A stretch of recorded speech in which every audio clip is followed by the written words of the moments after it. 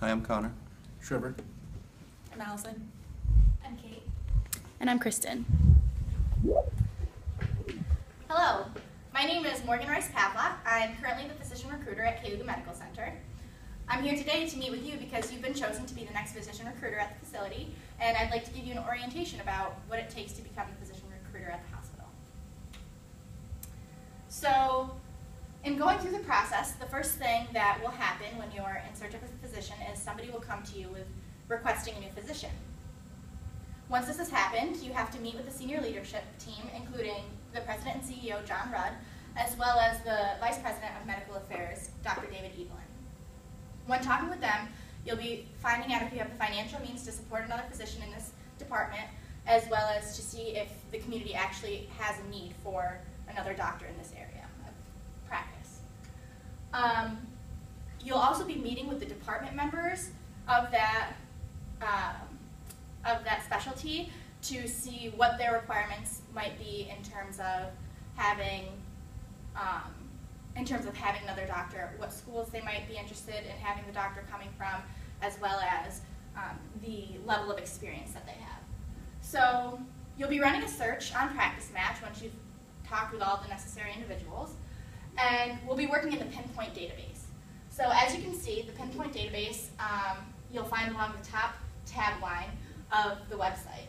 So when running a full search, you have the ability to enter a major majority of the criteria that you might be gathering for the department as well as the senior leadership team. So once you've entered into the full search, you can type in the specialty up in the top, up in the upper right hand corner, and when you type in the specialty, it'll come up with related specialties in that area of expertise. You have the opportunity to select those or you, it's not necessary. It's important with Cayuga Medical Center that the individuals do have a U.S. citizenship or a green card, as individuals with visas have a lot of difficulties in maintaining their licensure and staying in the area for the extended period of time that we would need them. The next important thing is to make sure that when you're running your search, you're narrowing down the possibilities of individuals by selecting that you would like them to be interested or have ties in the New York area. That way we're only reaching out to the people that are actually interested and not um, tens of thousands of people that we will be getting responses with saying no thank you. So after you've defined those needs, depending on the area of specialty, it may be required that an individual has a fellowship or is currently practicing because of the level of experience that we're requesting.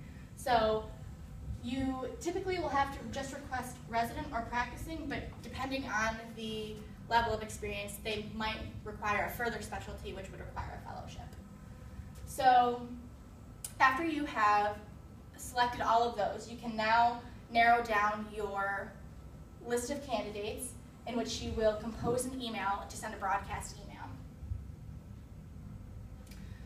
So after you send the broadcast email, asking them if they're interested in the area and if they would like more information, um, you'll hear back from the potential candidates that are interested.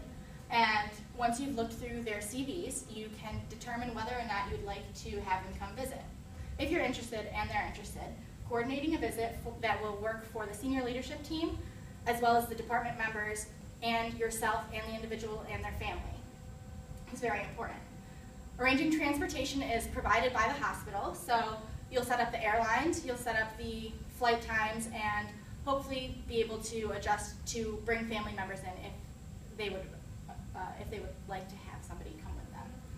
Um, the next most important thing is setting up a place for them to stay if they are traveling from distances and will be staying for quite a few days. So arranging the hotels and meetings with the department members and senior leadership team is a very important aspect of bringing in the candidate and making them feel interested and comfortable in the facility. So once you have met with them um, and their families and discussed everything with the senior leadership team and the members of the department, you can make your offer. So typically in making the offer, you would send out your thank you letter to them for visiting and send them a list of the benefits, a list of um, the call that they would be on, as well as the amount of compensation that they will be making.